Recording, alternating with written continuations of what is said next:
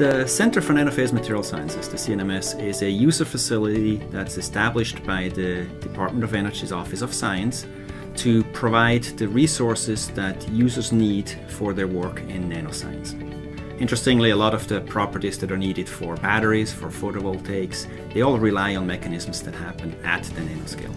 And our goal is to use these properties to create new materials that can be used to address our energy challenges.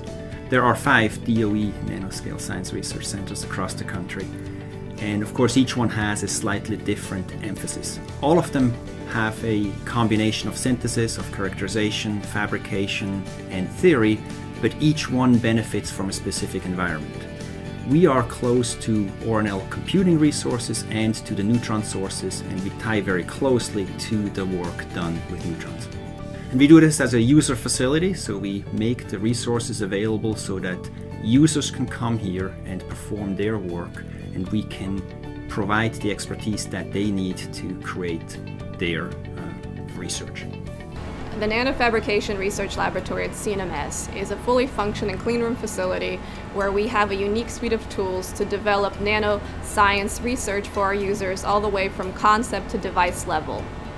We have a suite of tools that are unique to the clean room that allow us to do both 2D and 3D nanofabrication all the way from nano to microscale devices where we can incorporate things like 2D materials into device level and tune their functionality to create nanofluidics for nanobio inspired research.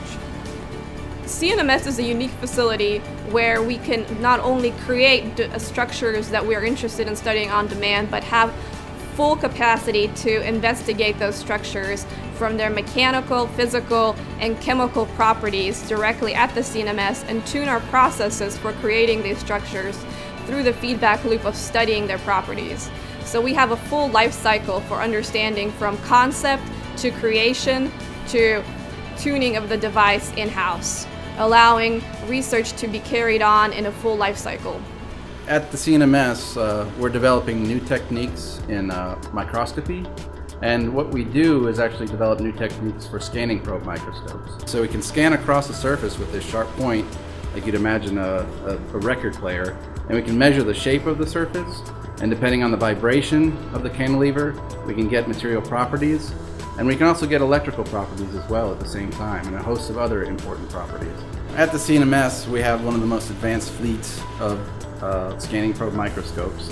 And we also have developed some of the most advanced techniques on these microscopes. And so when users come to the CNMS, um, they have access to all of these techniques. They have access to the experts who invented these techniques. So we can really help them to characterize um, and understand their materials uh, at a whole new level.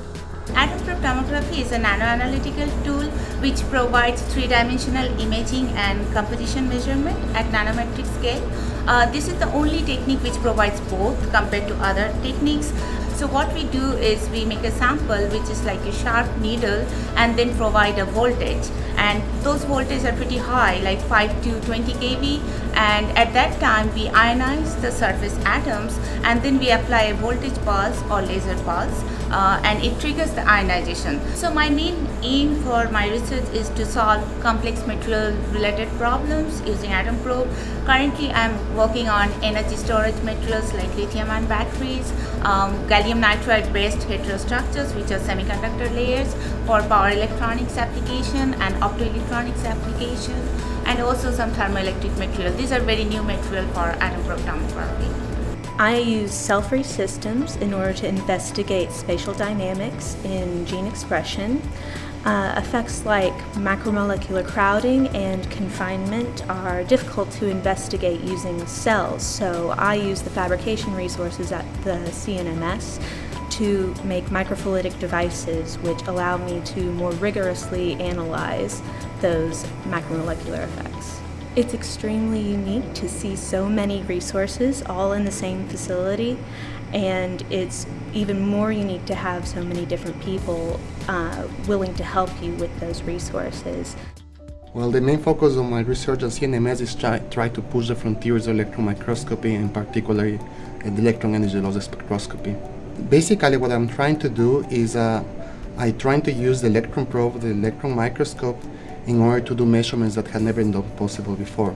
And in the way that I do that is by manipulating uh, something that is called the phase of the electron in order to be able to have um, uh, get signals through an electron microscope uh, with atomic resolution that were not possible before as a magnet magnetism. The idea is that when we try to, for instance, push the frontiers of electron spectroscopy or electron energy losses spectroscopy in the electron microscope, it is not just something that it will be uh, for the community within Oak Ridge, but it will be able to be able to the users that come here will be able to do measurements that had never been done possible before, and they will be able to do experiments that they were not thought that they were possible before. There are just too many combinations of materials, compositions, structures to try them all experimentally.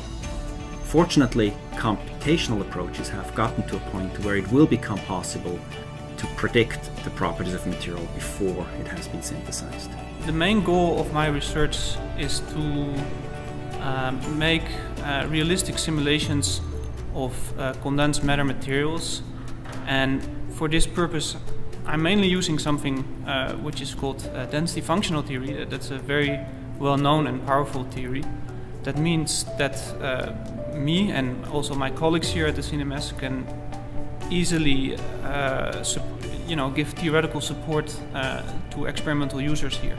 Um, there is a uh, great amount of experience with the computational resources of the Oak Ridge Leadership Facility and uh, that offers another great opportunity for users uh, to you know, benefit from this expertise and to implement uh, high performance computing in their research. We are very comprehensive. We offer things from the simplest equipment to the most complex instrument, and they're all available and they can be used in combination. And it's one single proposal that gets people in here to use all of those capabilities. Most users, once they come here, are surprised by just how much can be done here. And I would just encourage people to come and check us out and explore what is actually possible at CNMS.